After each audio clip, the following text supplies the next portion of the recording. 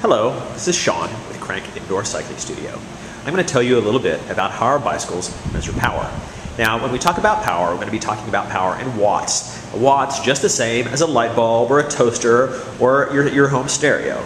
That's all just a measure of work divided by time.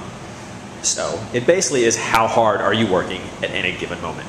So how we measure this is there are strain gauges, meaning little metal strips in the back wheel of the bicycle here.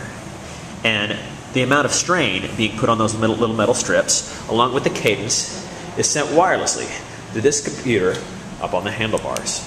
The computer then makes the calculations of the amount of strain put on the gauges and the pedal speed and tells you how many watts you're doing or how much work you're doing at any point in time. There's two ways to add to add watts. You can either add resistance, you can add pedal speed, or you can add a combination of both. And the really cool thing about these bikes is 100 watts, on this bike is the same as 100 watts on this bike is the same as 100 watts on this bike. So you can really compare each, bike, each workout to the other. And the other thing is the watts really let you know if you're cheating. If I'm asking you to do an effort and not not slow down and not fade as you near the, as you near the end of the effort, you know you get instant feedback. And I find that both uh, cyclists, triathletes, as well as uh, your, your gym enthusiast and, and spin class type people all really enjoy this. It, it lets you know there's no cheating.